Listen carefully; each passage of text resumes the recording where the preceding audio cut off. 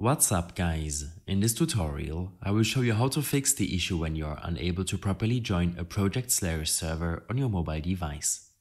This should be quite an easy tutorial. For more information, click on the first link in the description below. First of all, make sure that you're not currently playing Project Slayers on another device, such as a PC or other mobile device. Next, completely exit out of the application and open up your device settings.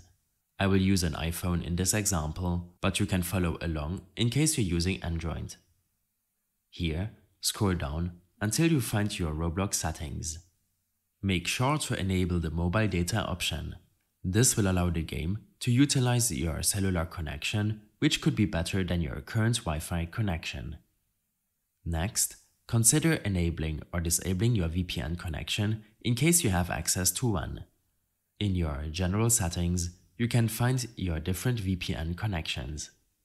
In most cases, you will want to disable your VPN when trying to play Project Slayers on your device, as it can induce lag and a higher latency.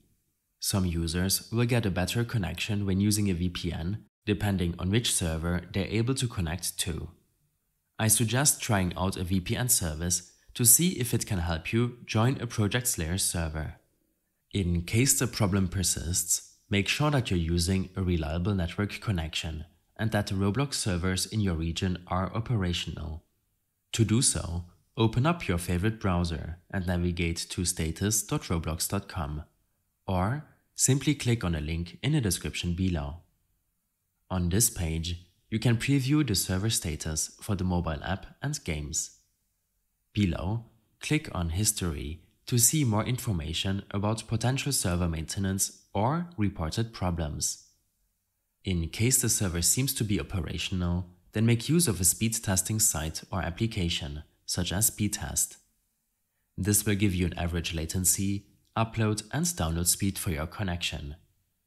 In case your ping is higher than 100 milliseconds, or you're having an unstable download speed, then you should consider using a different network connection to play Project Slayers on your mobile device. To further improve your network connection, you can restart your router or modem in case you haven't done this in a while. Next, in your App Store or Google Play Store, look up Roblox. This will show you if the application is up to date, which could otherwise also prevent you from playing the game. Lastly, make sure to restart your mobile device in case you haven't done this in a while. This will restart some services and processes and will, in a lot of cases, fix network connection issues for Project Slayers. In case you have any further issues or problems following this tutorial, then I suggest following my extensive guide linked in the description below. I hope this helped you out, leave a comment if you have any questions and see you in the next one.